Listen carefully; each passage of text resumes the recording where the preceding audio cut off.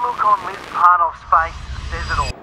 Years of hard work, countless hours training, and it might be for years of hard work. 21-year-old pole vault champion brought to tears training, suffering and it might be for nothing. Serious knee injury and brought during training at the WA Institute of Sport this morning.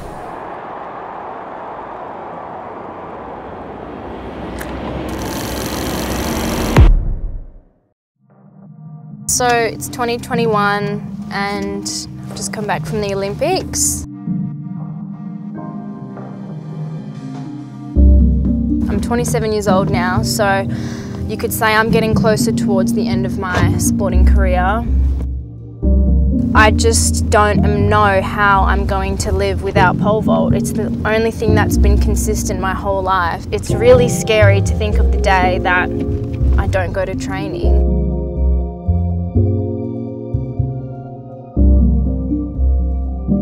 Was a little girl, I obviously spent so much time at the track with my family and my sister. My dad was a coach, so he was there working. Mum would take the kids down.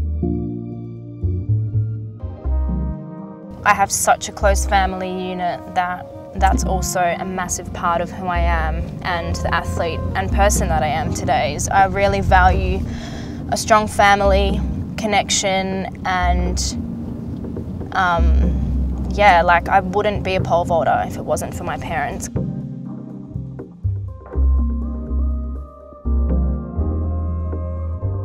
I think the biggest point in my career so far was 2016 when I broke my leg and it took me away from the sport for about nine months and I had to really reflect and think about if this was something that I was willing to put everything into because up until that point as a younger girl, I'd kind of been in and out and I wasn't sure. But I think being shaken by such a severe injury just showed to me how much I loved it and how much I really wanted to commit to it and do the best that I could.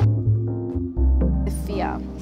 The fear if I don't stick this somersault or backsault, I could hurt myself again. I think I might have a bit of trauma from my past injury. That would be the biggest thing for me.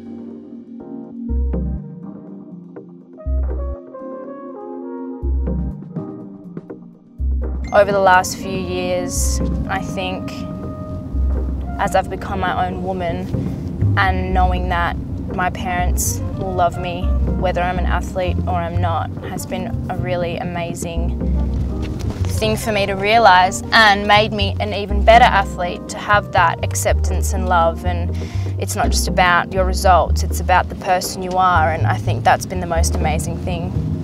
If I could pole vault every day, I would do that.